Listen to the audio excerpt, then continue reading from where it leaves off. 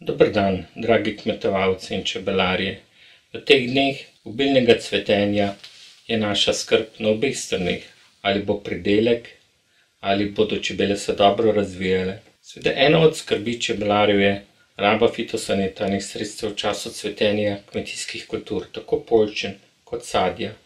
Načeloma se temu izogibamo, vendar včasih pa le preveč se razbohotijo škodljivci in bolezni in kmetovalec želi poskrbeti, da bo vseeno imel neki znosen pridelek, zato je raba neizogibna.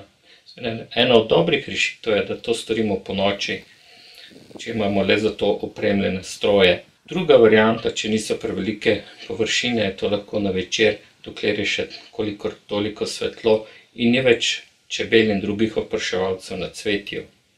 V skrajnem primeru, kadar je sila velika, površine prevelike, pa se je temu težko izogniti. V tem primeru je nujno obvestiti čebelarje in pa po možnosti tudi čebelarsko društvo, ki upravlja pašno območje. S tem je zagotovljeno tudi obveščanje vseh čebelarjev, da lahko zaprejo čebele vsaj za štiriindvajset ur in s tem preprečijo pomore čebel zaradi zastrupitve, predvsem za rabo nevarnih fitofarmacevtskih sredstev, med katerimi so predvsem insekticidi. Danes je priporočilo za ukrepanje ogrščici, v kolikor so se preveč razbohotili škodljivci.